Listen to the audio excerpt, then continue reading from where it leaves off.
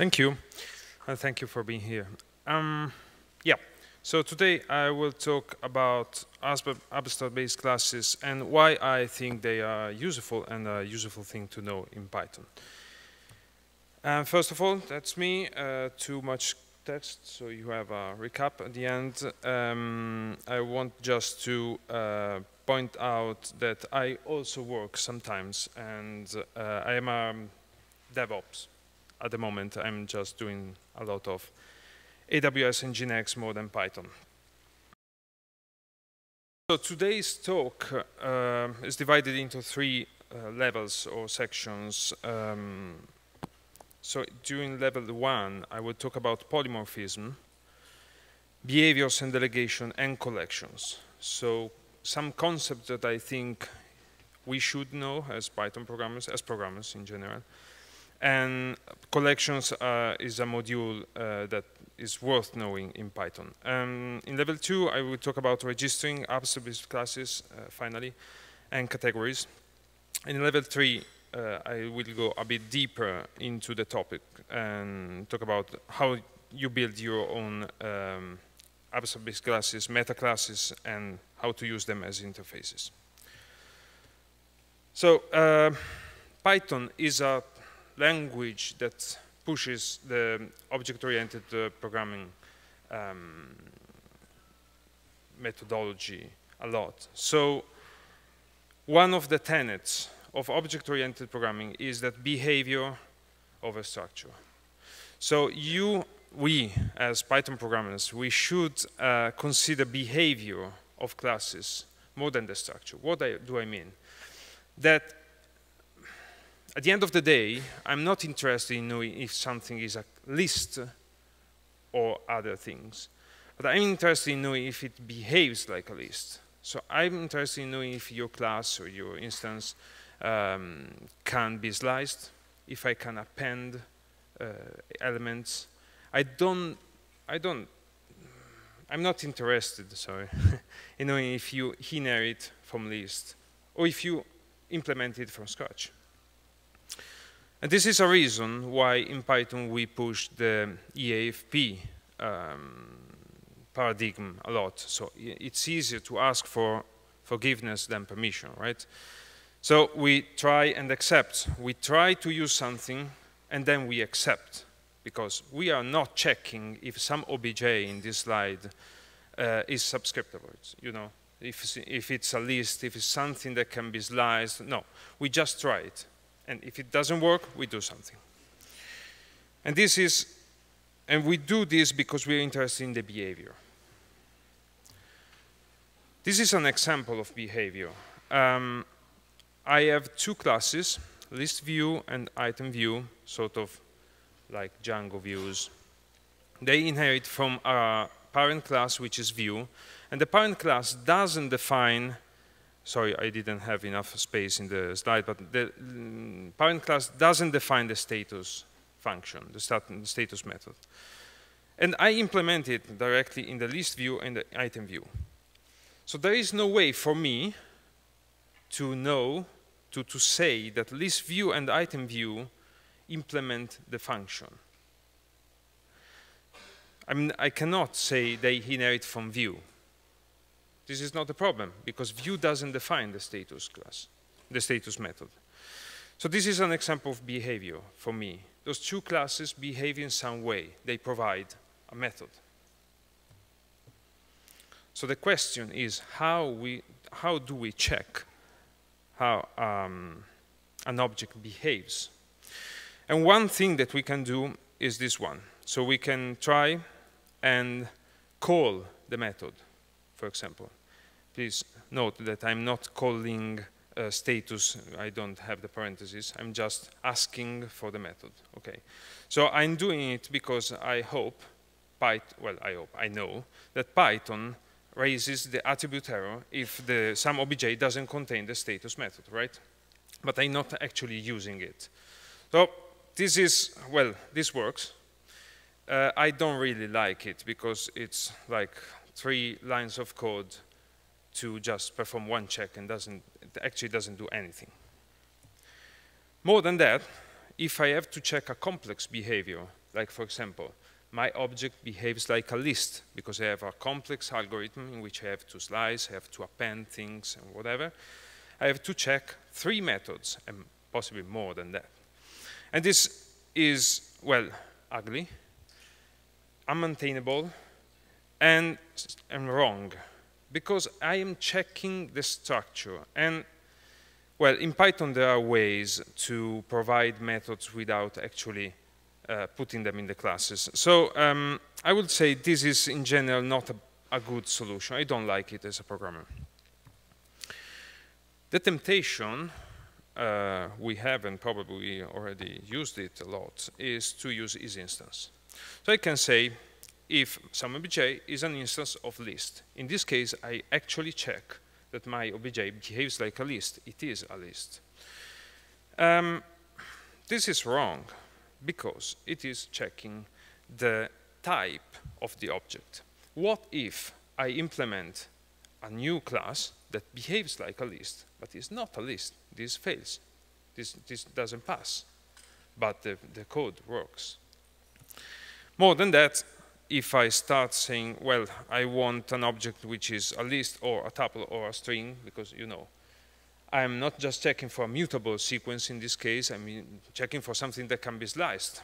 And the three things, list and string and tuple, can be sliced. And then he comes and says, oh, I invented a new tuple, or whatever, and I have to add it. So it becomes unmaintainable very quickly.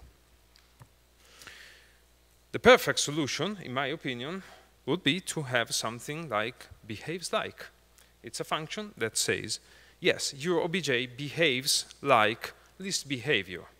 Well, list behavior is a class, in my dream, that describes a behavior, okay, that says, yeah, performs this operation, does this and that, yeah? Okay, good news, we have something like that.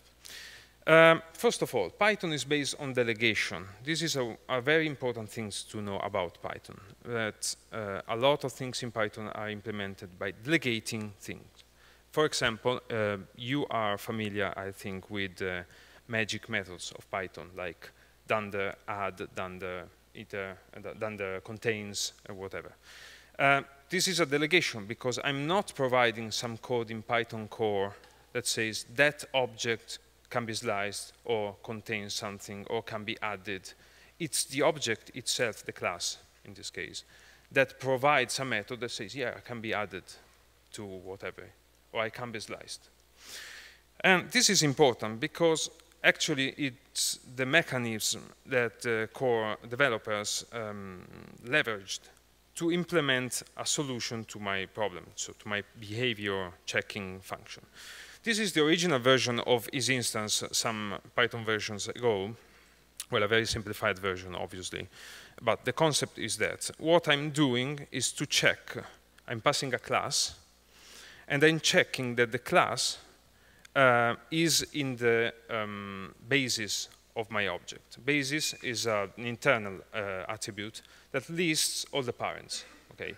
Actually, the original version is a bit more complex because we have to somehow climb to the um, um, inheritance tree. Okay, but this is the concept. I'm checking, I'm saying, yeah, Python does this. isInstance checks for the presence of the class.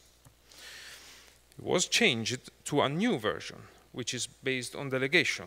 Again, a simplified version.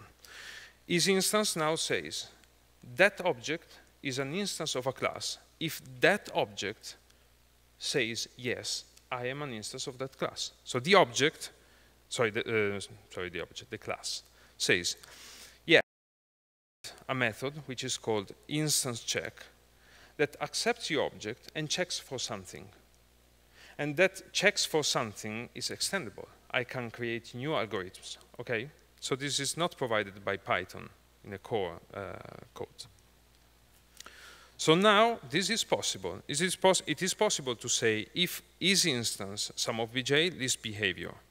Because isInstance um, uses the internal instance check uh, method of list behavior.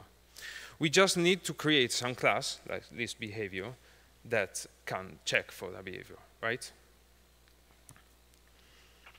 enter collections. And collections is a module that you can find in the standard library. Um, yeah, it's a module of classes that, uh, as I wrote, that represent interesting behaviors, like mutable sequence, sequence, uh, mapping, and whatever. Okay, go and check the documentation. This is an example. I import collection and I say, is instance a string of a sequence? And a string is a sequence, can be sliced, for example. So the check is true. But a, a, string is not a mapping, it's not a dictionary, right? There's no key value pairs inside. So the check is false. And the link there is the documentation of the collections module. I, my advice is to go, check it, and start using it, because it's a very powerful module.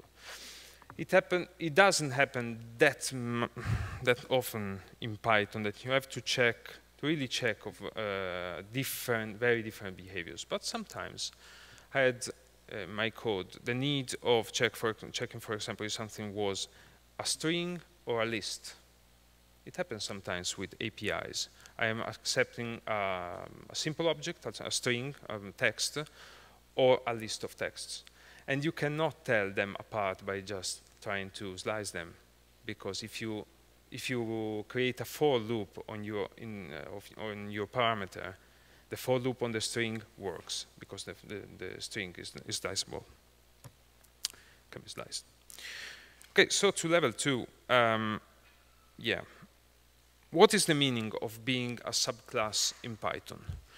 So if you know some Python, you could say, well, uh, being a subclass is something that you can do when you inherit from another class. And actually this is true. It's one of the two methods. Uh, this is what we call real subclass. You inherit from a class, so child class inherits from parent class.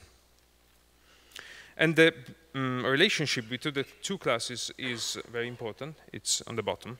So child class knows parent class. If you have an instance of child class, you can go and check at runtime that parent class is the parent. It's in the bases attribute.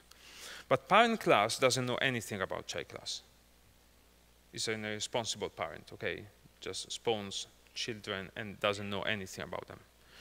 So you cannot go to parent class and ask, can you tell me all your children in my code base? No, doesn't work. The second method is to be a virtual subclass. This could be new to you. And actually it's called registering in the object-oriented world. Uh, in Python as well. What you do is to register, or register probably, the child class into the parent class. And in this case, the relationship is the opposite. Parent class knows that child class is a, is a child class. Sorry, no pun intended. But child class doesn't know anything about parent. You are just assigning child class to a parent. And this is important because classes that can register other classes are called abstract base classes. So this is the definition for today's talk. An abstract base class is something that can register another class. And in the collections module code base, you can go and check it on GitHub. I found this code, these lines, uh, which are very interesting because it says sequence, which is a class, an abstract base class defined in that module, says I register tuple uh, or tuple, I register string, and I register range, for example. So those three thing, things are sequences because sequence registers them. And a list is also registered as a mutable sequence, which is not, a string is not a mutable sequence in Python. One very important thing to uh, remember is that regist registering is a promise. So Python does no, absolutely no check. So if you register, sorry, I go back.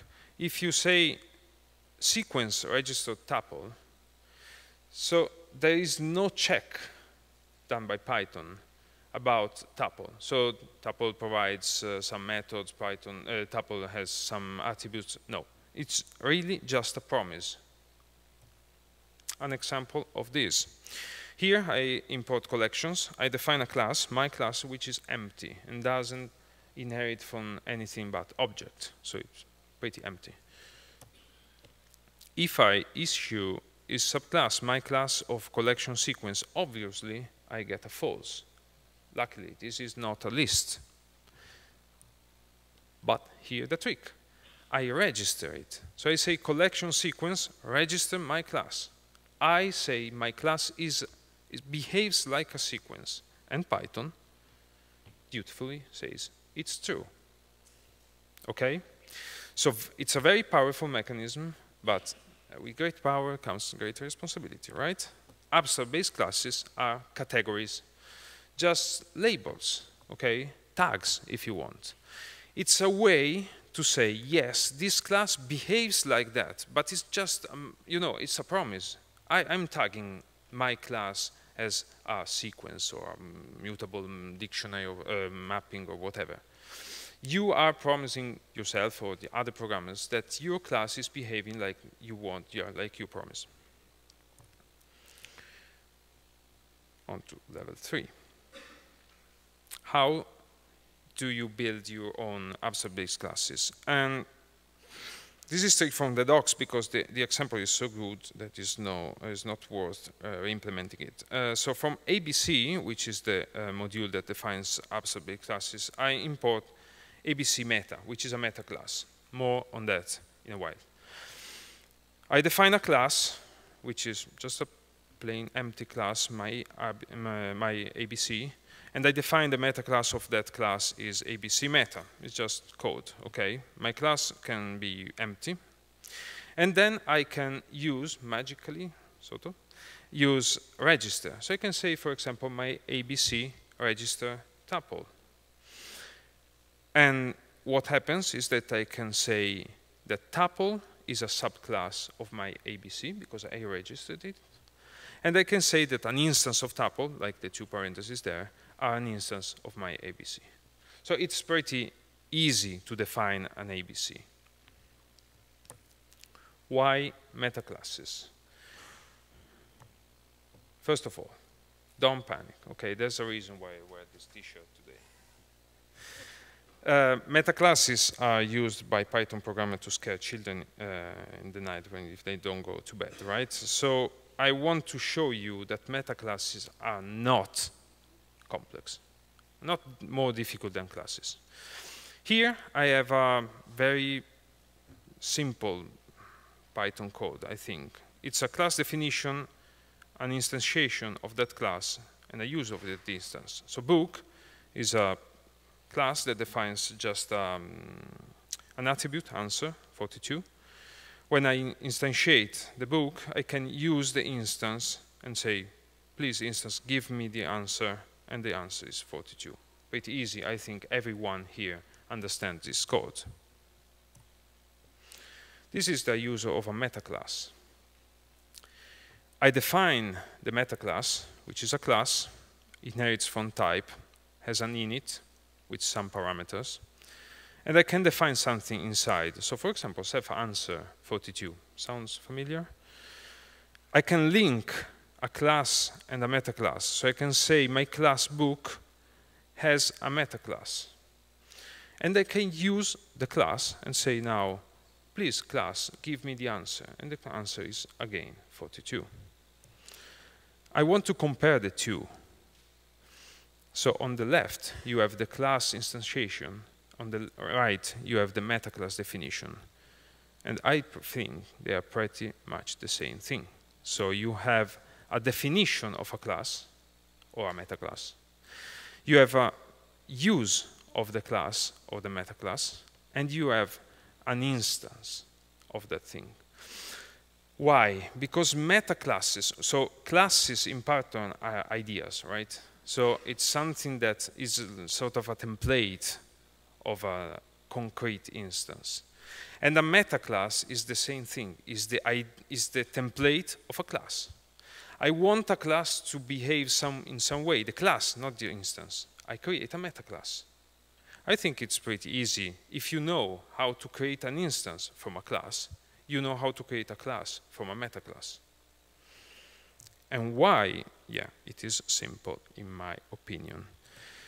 Why are we using meta classes? So, well, for instance, because we need the classes to contain this register um, method.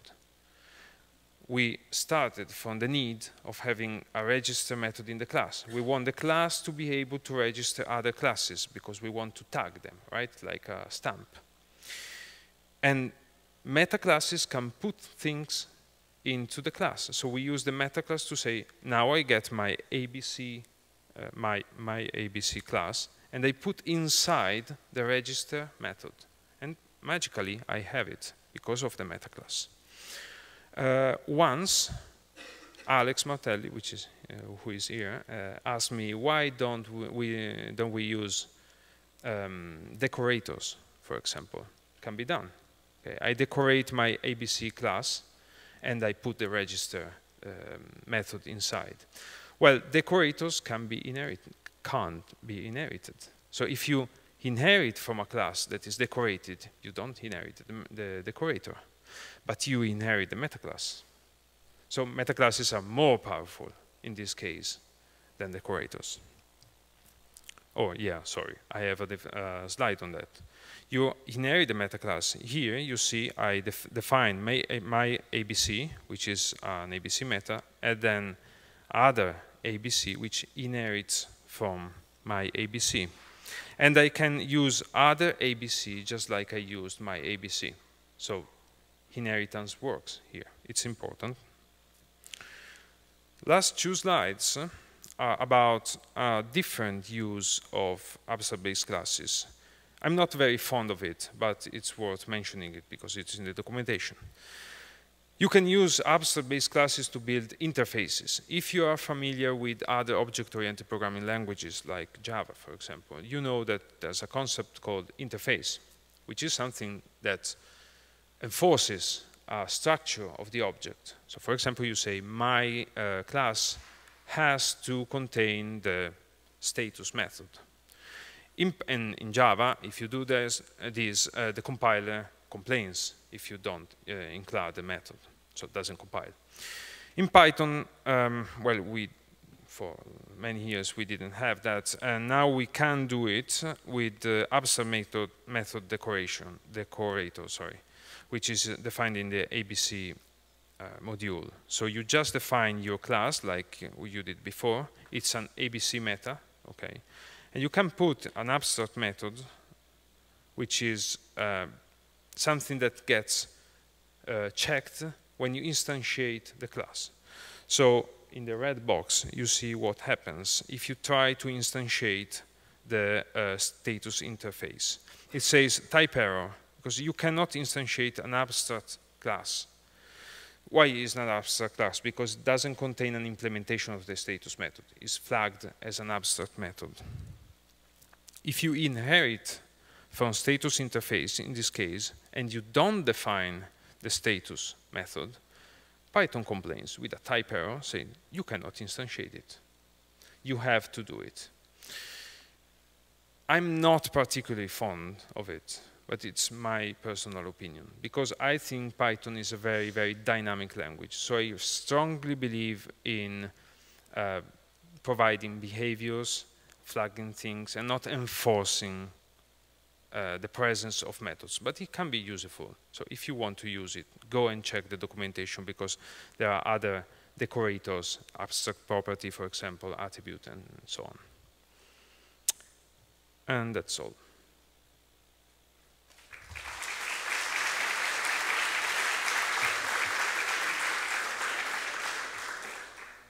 Questions?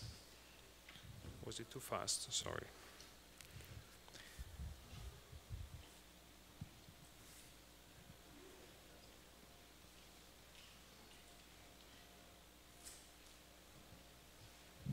Hi.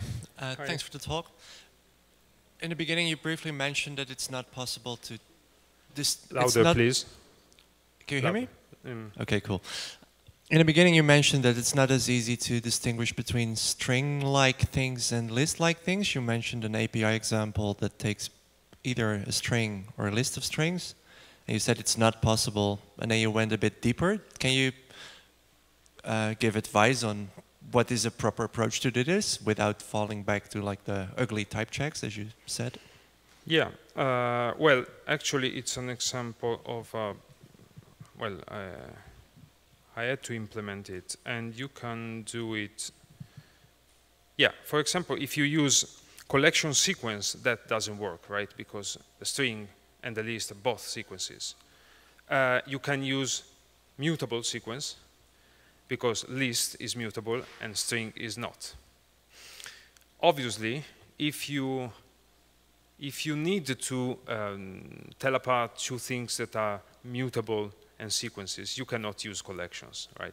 So if you define something which is like a list, but is different, and you want to tell a list and your class apart, um, you have to define your own abstract base class and say, okay, I flag my, I label my class as, I don't know what, my category, and then I check that. From the collections, you can do it uh, with a mutable sequence. So, uh, yeah, mutable, mutable sequence. It's pretty easy to do. Uh, also, thanks for the talk. I wanted to ask, um, um, when you uh, create a um, child class, then the parent class gets put in the MRO. MRO.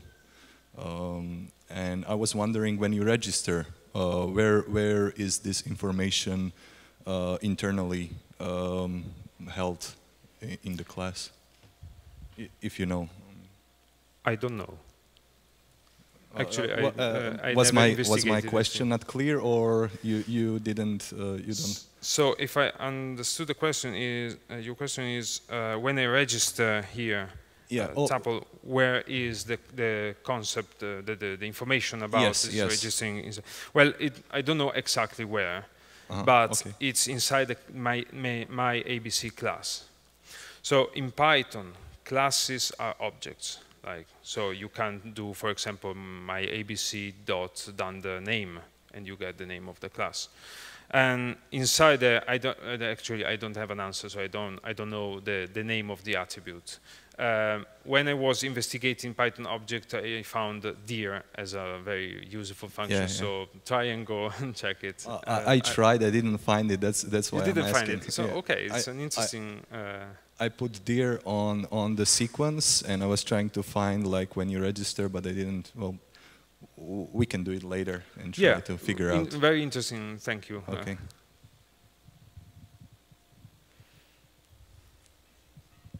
Anyone else? If not, I've got one question. Okay, so um, back to the question of why uh, why a meta class and not a decorator. Have you thought about why just not make um, register a class method and then inherit instead of having a meta class, maybe? Well, I think it's because you want to. Um, okay, in Python, you can have multiple inheritance, right? It's a hell. So if um, it's fine for very simple cases, but when you try to have too many uh, parents, um, the problem is that you don't, you know theoretically uh, the method of resolution order, right? But uh, in practice, it sometimes it's very complex. If you use Django, sometimes with, with mixins, you really don't know who defined that, that, that method. So the problem with um, inheritance is that you create very big inheritances, uh, trees. So I think the, the point is to avoid pushing further inheritance, which is already a bit too uh, abused sometimes. We forget composition, you know.